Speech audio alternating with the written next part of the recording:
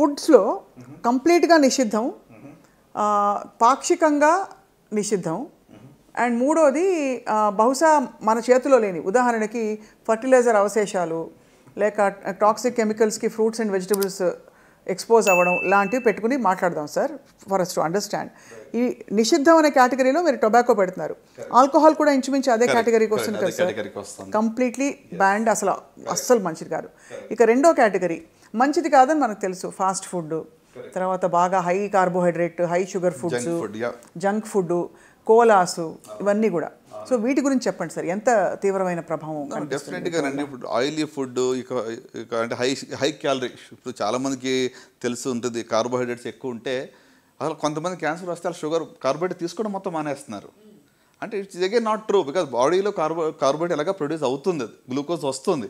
కానీ మనం high glucose content తినకూడదు. So sugar consumption should be reduced అంత మాత్రం కాకుండా మరి ఈ యొక్క హై క్యాలరీలో ఉన్నటువంటి యొక్క యూనో ఏమంటారు కోలాస్ కానివ్వండి అంత కాకుండా అంత మాత్రం కాకుండా ఇంకా చూ చూసినట్లయితే మరి fried foods red meat red meat consumption leads to colon cancer in significant way అండి.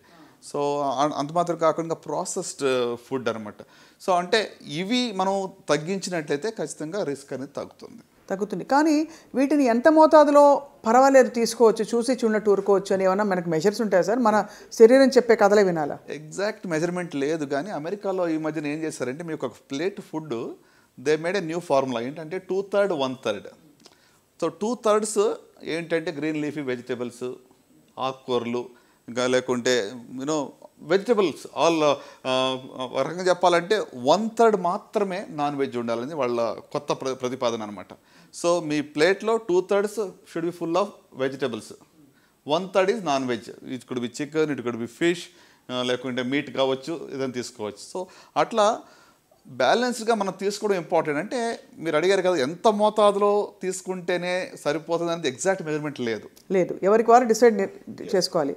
అంటే ఫుడ్ ఈజ్ మెడిసిన్. అంటే మనం ఏం తింటామో మనం అది అవుతాం. So you are what you eat. The message is clear. So మీరు ఇప్పుడు ఇందాక ఫుడ్ గురించి ఇంత మీరు స్ట్రెస్ చేస్తున్నారంటే దాని అర్థం ఏంటి అంటే డెఫినెట్గా ఏం తిన్నప్పుడు కూడా మనం మైండ్ఫుల్గా తినాలి కొంత.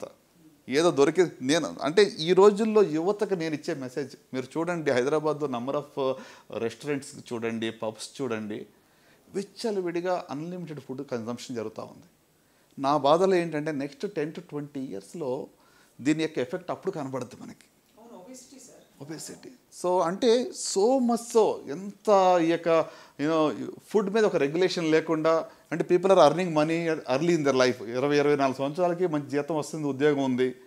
సో ఐ థింక్ అక్కడ కొంచెం మనకి అవేర్నెస్ తీసుకురావడం ప్రజల్లో కొంచెం చైతన్యం తీసుకురావడం ఎంతైనా అవసరం. దీని గురించి what is the best way for an individual to approach this subject నేను ఏం తినాలి ఎంత మోతాదులో తినాలని చెప్పడానికి ఏ- చేయాలి సార్ న్యూట్రిషన్స్నా జనరల్ ఫిజిషియన్ని సంప్రదించాలా? అమ్మ చెప్పిన మాట ఇంట్లో వినాలా? ఏం చేస్తే ఉత్తమం అంటారు మీరు? అంటే ఆనెస్ట్గా స్పీకింగ్ అందరూ ఒక డాక్టర్ని కన్సల్ట్ చేసే అవసరం లేదు దీనికి. సో అంటే ఇప్పుడు కార్బోహైడ్రేట్ కానీ ప్రోటీన్ కానీ లేకుంటే ఫ్యాట్ కానీ సరైన మోతాదులో మనం కన్జ్యూమ్ చేసుకుంటే మీకు అవైలబుల్ ఆన్లైనే చాలా వరకు మీకు ఇన్ఫర్మేషన్ దొరుకుతుంది దీంట్లో. మిగతా అన్ని కూడా ఆన్లైన్ మనం చూస్తాం అవసరం లేనట్లకి. ఓకే? ఇప్పుడు దర్ వేరియస్ కొన్ని కొన్ని ఆర్గనైజేషన్స్ అయితే మీకు డైట్ ప్లాన్స్ ఇస్తున్నాయి. ఒక టెన్ వీక్స్ ఒక ఛాలెంజ్ ఇస్తున్నాయి డైట్ ప్లాన్ అంటే ఒక మంచి అలవాట్లు వీళ్ళకి ఆ, అంటే అడాప్ట్ చేసుకోవాలని చెప్పి ఇవన్నీ కూడా ఇస్తూ ఉన్నాయి. కరెక్ట్ కరెక్ట్ సో కనుక I think you know each one is the personalized option అండి. అంటే నేను చెప్పేది ఒకటి అందరికీ అది వర్తించకపోవచ్చు. Correct so yeah we have to make our own plan